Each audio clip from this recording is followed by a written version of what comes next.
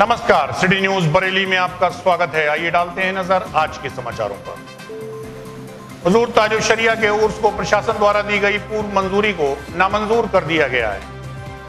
प्रशासन द्वारा दी गई पूर्व मंजूरी को नामंजूर कर दिया गया, इसलिए मुरीदों ने किया विरोध।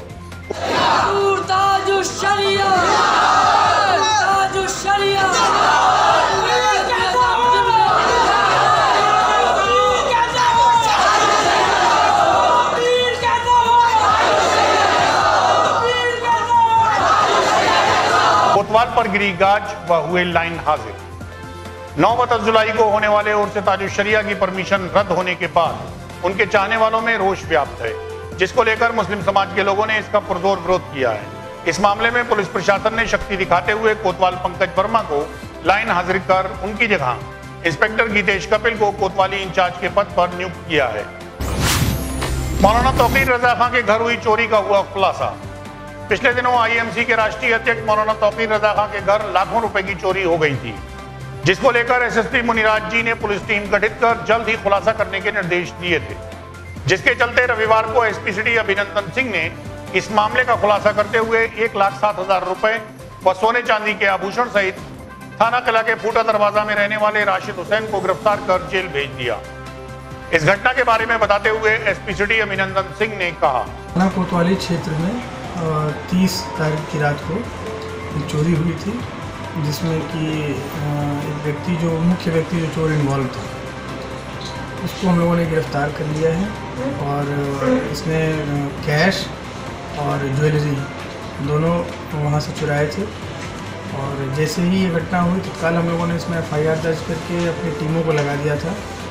तो हमारी जो टीम है वो बिल्कुल सर्विलांस के माध्यम से भी और जो लोकल जो है इंफॉर्मेशन गैदरिंग दोनों के आधार पर हम लोगों ने इस घटना का खुलासा किया है और जो मुख्य आरोपी है इसमें राशिद उसको हम लोगों ने इसमें गिरफ़्तार कर लिया कैसे घर तक पहुँचा? कैसे घर में एंट्री थी? क्या रिश्ता ये व्यक्ति जो है जिनके यहाँ चोरी हुई मौलाना तोकीर रजा उनकी वाइफ के मुँह बोले भाई लगते हैं। तो इस वजह से इनका आना जाना लगातार उस घर में बना रहता था और सारी चीज़ें ये जानते थे कि कहाँ घर में क्या सामान रखा हुआ है। और इस चीज़ का लाभ उठाया और जो मेन उनका भरोसा भी इनके ऊपर काफ़ी था। इस वजह से इस चीज़ का इसने गलत लाभ उठाया और घर में घुसकर चोरी को अंजाम दिया। हाँ वहाँ हम लोगों ने जो वहाँ जितने भी सीसीटीवी कैमरे अगल बगल लगे हुए थे उसमें से हम लोगों ने उसके आधार पर इनकी प्रेमा फिर से पहचान कराई।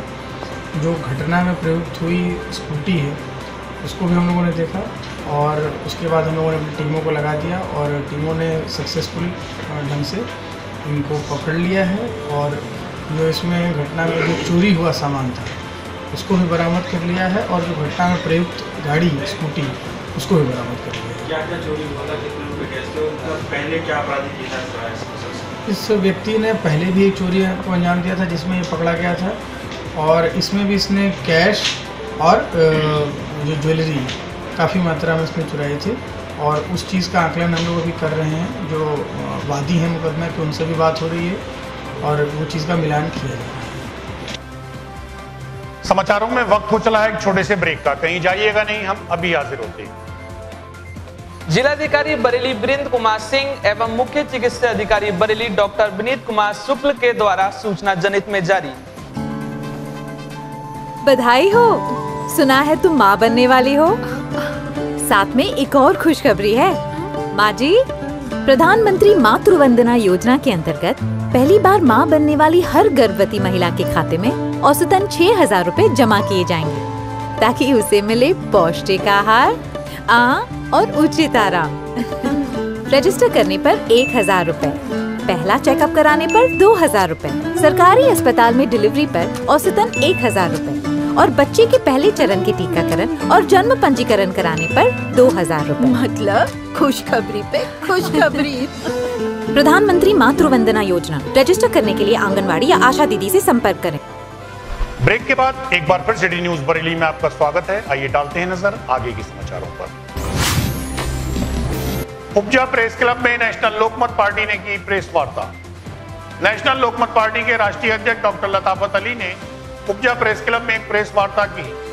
तथा पत्रकारों से बातचीत के दौरान बताया कि भाजपा के पूर्ण बहुमत से सत्ता में आने के बाद विपक्ष निष्क्रिय हो गया है, जिसको नेशनल लोकमत पार्टी शहर व देश में हो रही घटनाओं को उजागर कर लोगों के लिए, न्याय के लिए लड़ेगी। इस बारे में जानकारी देते हुए पदाधिकारी ने बताया। के साथ हमारा मानना है कि भारत में जिसकी जितनी संख्या हो उसको उसकी आर, और आर्थिक आधार पर उन सभी को जो है सरकारी कुर्सी सरकारी वर्दी सरकारी कलम सरकारी बंदूक और सरकारी कारतूस में हिस्सा मिलना चाहिए। इस देश की धन धरती और शासन प्रशासन में जब तक उनकी हिस्सेदारी नहीं होगी तब तक सही मायने में भाईचारा कायम नहीं होगा और जब ये सही मायने में भाईचारा कायम होगा तभी हमारा देश आगे बढ़ेगा और जाति धर्म के बिना विकास करेगा। यूथ पावर वेलफेयर समिति ने किया सम्मान समारोह।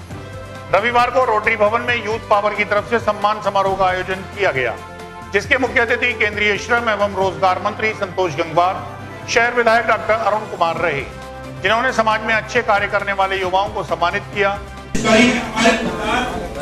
हमारे युवा व्यापारी साथी जो कि हमेशा संदेश देता श्री श्री राज गंगवार जी को मैं मंच पे बुलाना चाह चाहूँगा एक बार जोरदार तालियों स्वागत कीजिए तालियों की गड़गड़ाहट इसके बाद मैं चाहूँगा अमित शर्मा मीत जल्दी से मंच पर आ जाएँ। इसी क्रम में हमारे बीच हमारा मार्गदर्शन कर रहे हैं हमारे चाचा, जिन्हें हम कहते हैं यूथ पावर के संरक्षक श्री बंटी ठाकुर। हमारे प्रबंधक है। का संदेश शुक्ला जी। वहीं कार्यक्रम को संबोधित करते हुए संतोष गंगवार ने युवाओं में जोश भरने का कार्य किया। वहीं संस्था के पदाधिकारियों ने सभी का धन्यवाद किया। समाचारों में वक्त हो चला है एक छोटे से ब्रेक का। कहीं जाइएगा नहीं, हम अभी हाजिर होते हैं। Rotary club, Bareilly north and inner wheel club, Bareilly new north के सहयोग से संचालित दिव्यांग मेंटली चैलेंज बच्चों हेतु विशेष शिक्षा केंद्र।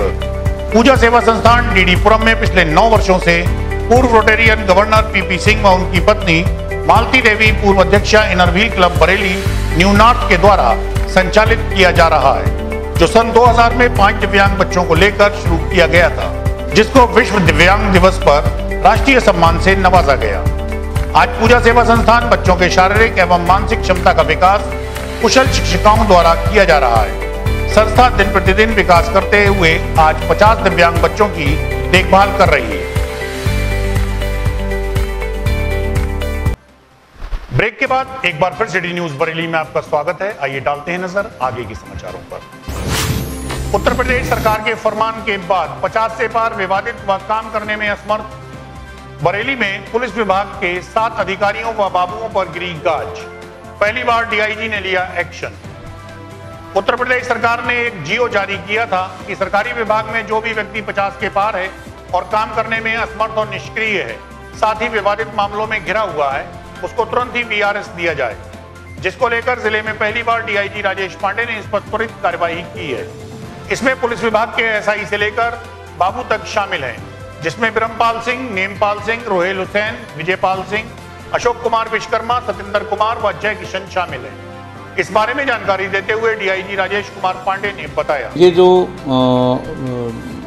आदरणीय डीजीपी महोदय के यहाँ से एक आदेश आया था कि सभी कर्मचारियों की स्क्रीनिंग कर ली जाए और स्क्रीनिंग में ऐसे कर्मचारी जो अक्षम हैं जिनके विरुद्ध लगातार बहुत सी शिकायतें हैं, जिन्हें बहुत बड़ी संख्या में दंड दिए गए हैं, जिनकी कार्य में रुचि नहीं है या जिनके विरुद्ध भ्रष्टाचार की शिकायतें हैं। तो इसकी एक कमेटी बना दी गई। सभी कर्मचारियों के करेक्टर रोल देख के, उनकी पत्रावलियाँ देख के उनको चिन्हित किया गया और एक रेंज स्तर की एक स्क्रीनिंग कमेटी में कुल 25 कर्मचारी हमारे रेंज के चारों जिलों में, जिनमें से एक इंस्पेक्टर पाँच सब इंस्पेक्टर सात हेड कांस्टेबल और 11 कांस्टेबल। इनको अनिवार्य सेवानिवृत्ति जो नियमों के अनुसार अनिवार्य सेवानिवृत्ति इनकी की गई है। इनको सबको नोटिसें भेज दी गई हैं और बाकी की जो वैधानिक कार्रवाई है वो पूरी की जाएगी। ये चारों अपने रेंज के चारों जिलों के रेंज के हैं या सिर्फ़ नहीं नहीं ये सब हमारे चारों जिलों को मिला के बदायूं पीलीभीत शाहजहाँपुर और बरेली। रेंज स्तर पर हमारे यहाँ चूँकि जो नियुक्ति अधिकारी है, कांस्टेबल हेड कांस्टेबल का एसएसपी होते हैं, उन्होंने अपने स्तर से किया है। और सब इंस्पेक्टर इंस्पेक्टर के नियुक्ति अधिकारी पद से पुलिस उप महानिरीक्षक होते हैं तो वो हमारे स्तर से इनके अनिवार्य सेवानिवृत्ति इनकी की गई है। रघुनाथ मंदिर में भक्तों ने लिया श्रीमद भागवत कथा का आनंद। जिला ब्राह्मण सभा के द्वारा पिछले चार दिनों से रघुनाथ मंदिर में कथा व्यास पंडित संजीव गौड़ द्वारा भागवत कथा का प्रवचन किया जा रहा है। जिसमें संगीतमय कथा के साथ ही प्रवचनों का गुणगान भी किया जा रहा है। मैं जाता हूँ। सारे गोकुल में आंधी तूफ़ान कर दिया। भगवान ने भी कर दिया। बोली भगवान। क्या बोली? भैया गुरु जी के पास चलते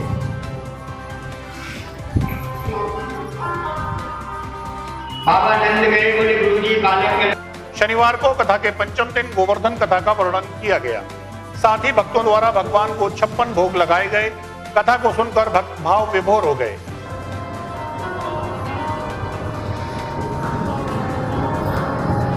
संस्कार ये विशाला में हो और ये विशाला नहीं हो तो बोले तो गौशाला हो। ये विशाला नहीं है तो गौशाला। हो बोले, गौशाला भी ना हो तो? बोले, फिर धर्मशाला हो। जिस भवन में आप बैठे हैं। असली इसका नाम धर्मशाला ही है। यहाँ से सारे धर्म के कार्य होते हैं। जहाँ निरंतर धर्म सिखाया जाए, जहाँ जो धर्म पर चले, उसे धर्मशाला। समाचारों में वक्त हो चला है, एक छोटे से ब्रेक का। कहीं जाइएगा नहीं, हम अभी हाजिर होते हैं।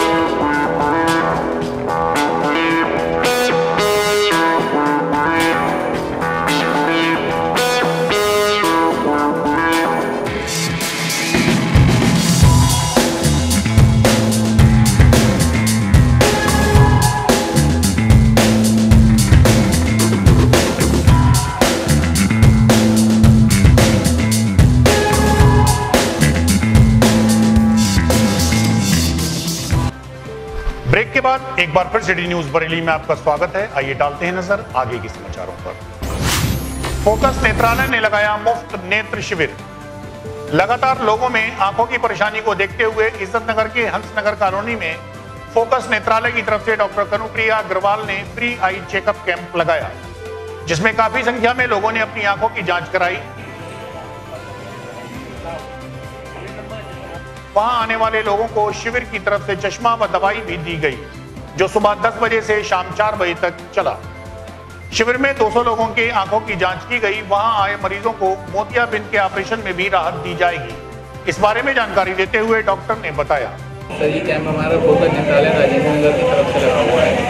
डॉक्टर हमारे डॉक्टर कनुप्रिया अग्रवाल उनके माध्यम से लगा। अच्छा कितने बजे से लगा? लगभग करीब तो हम पचास पचपन मरीज़ देख चुके हैं। अभी तक और ये करीब तीन चार बजे तक कैंप चलेगा। अब तक कितने लोगों की जाँच हो चुकी है? यहाँ पे करीब लगभग पचास मरीजों की जाँच हो चुकी है। उसमें आपको चश्मे भी दिए गए हैं फिर लोग जिनको दवाइयों की ज़रूरत है उनको दवाइयाँ भी प्रोवाइड कराई गई अगर अगर किसी को मोतियाबिंद ऑपरेशन या इस टाइप से कोई समस्या है तब उसके लिए? किसी को मोतियाबिंद की समस्या है तो उसके लिए आपको ऑपरेशन कराना होता है जिसपे हमारी अस्पताल की तरफ़ से उनको छूट भी दी है। आप कैंप में रजिस्ट्रेशन करा के आप छूट पा सकते हैं। भाजपा कार्यालय पर हुआ सदस्यता अभियान। भारतीय जनता पार्टी को और ताकतवर बनाने के लिए भाजपा के वरिष्ठ नेता लगातार प्रयास कर रहे हैं। जिसको लेकर सिविल लाइन में बने भाजपा कार्यालय पर सदस्यता अभियान चलाया गया, जिसके मुख्य अतिथि भाजपा के प्रदेश उपाध्यक्ष पुरुषोत्तम खंडेलवाल रहे। जिनकी अध्यक्षता में काफ़ी संख्या में लोगों ने भाजपा की सदस्यता ग्रहण की। कार्यक्रम के मुख्य अतिथि भाजपा के प्रदेश उपाध्यक्ष पुरुषोत्तम खंडेलवाल ने बताया कि यह अभियान इकतीस अगस्त तक चलेगा। साथ ही उन्होंने बताया कि टोल फ्री नंबर 8980808080 पर कॉल कर सदस्यता ले सकते हैं। इस मौके पर भाजपा के केंद्रीय सांसद धर्मेंद्र कश्यप, महानगर अध्यक्ष डॉक्टर के एम अरोड़ा, शहर विधायक डॉक्टर अरुण कुमार, फरीदपुर विधायक डॉक्टर श्याम बिहारी लाल, मीरगंज विधायक doctor D C Verma, Nawabganj विधायक केसर सिंह गंगवार, भोजीपुरा विधायक बहुरन लाल समेत भाजपा नेता मौजूद रहे। जी और आज के ही दिन हम लोग पूरे देश के अंदर सदस्यता अभियान की शुरुआत कर रहे हैं। महिला मोर्चा ने अच्छा कार्यक्रम किया है और आज यहाँ पर उसकी हम शुरुआत कर रहे हैं। मेरी शुभकामनाएँ। भाजपा की महिला मोर्चे की पदाधिकारियों ने केंद्रीय मंत्री संतोष गंगवार का किया स्वागत।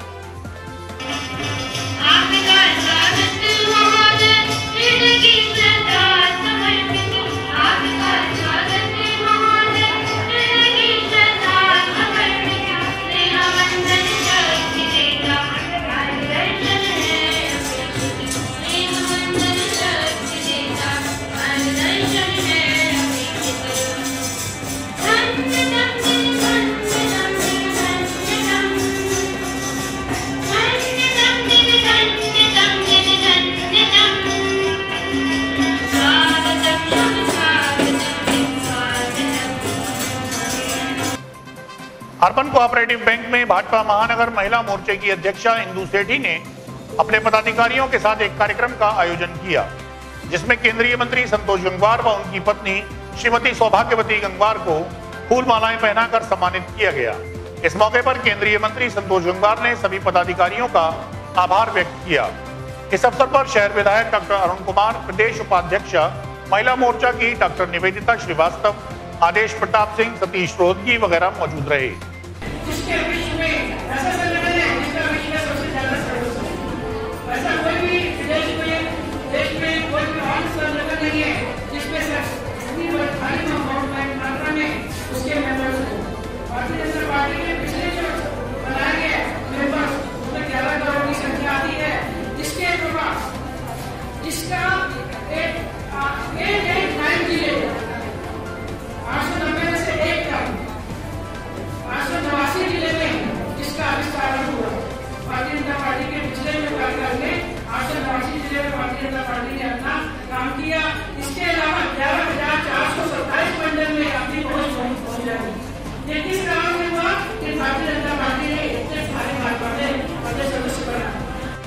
बना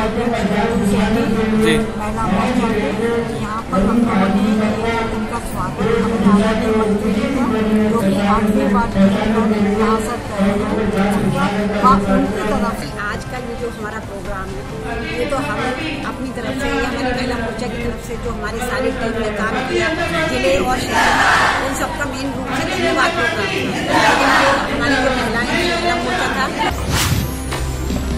बिन बरसात सिटी रोड हुआ पानी पानी। पीडब्ल्यूडी व नगर निगम के काफ़ी प्रयास के बाद भी बरसाती पानी से होने वाले जल भराव से राहगीरों को राहत दी गई। लेकिन इसी बीच रविवार को पाइपलाइन फट जाने से सुबह से ही सिटी रोड पर पानी भर गया, जिससे लोगों को काफ़ी दिक्कतों का सामना करना पड़ा। अब एक विशेष सूचना। सिटी न्यूज़ को आप अपने मोबाइल के यूट्यूब पर जाकर सब्सक्राइब भी कर सकते हैं। सिटी न्यूज़ में खबरें देने के लिए हमारे इस नंबर पर संपर्क करें। हमारा फ़ोन नंबर है nine seven six zero zero nine five four seven zero. या हमारे कार्यालय पर संपर्क कर सकते हैं। हमारा पता है सिटी न्यूज़ बरेली, निकट गंगाशील हॉस्पिटल, डीडीपुरम बरेली। समाचारों का ये सिलसिला यहीं खत्म होता है। अगले बुलेटिन में आपसे फिर मुलाकात होगी। नमस्कार।